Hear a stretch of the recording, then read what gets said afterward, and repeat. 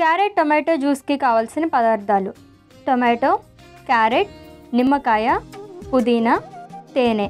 Carrot tomato juice తయారు చేసుకునే విధానం. ముందుగా టొమాటోని క్యారెట్ని ముక్కలుగా కట్ చేసుకోవాలి. అలానే నిమ్మకాయని కట్ చేసి నిమ్మరసం పిండుకోవాలి. తర్వాత మిక్సీ జార్లో కట్ చేసుకున్న టొమాటో ముక్కలు క్యారెట్ ముక్కలు నిమ్మరసం పుదీనా వేసి జ్యూస్లో మిక్సీ పట్టి సర్వింగ్ గ్లాస్లోకి వేసుకుని పైన తేనె అలాగే పుదీనా వేసుకుని సర్వ్ చేసుకోవాలి. అంతే క్యారెట్ టొమాటో జ్యూస్ రెడీ.